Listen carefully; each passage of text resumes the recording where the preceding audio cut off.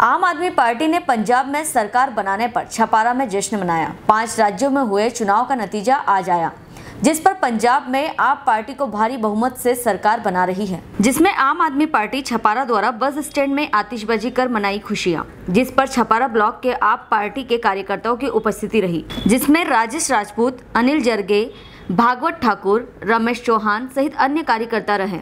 छपारा से आरिफ मोहम्मद की रिपोर्ट। आप देख रहे हैं हमारा channel S W twenty four news हमारे सारे वीडियो सबसे पहले देखने के लिए आप हमारे चैनल को सब्सक्राइब करें और पास में लगे बेल आइकोन को दबाना बिल्कुल भी ना भूलें।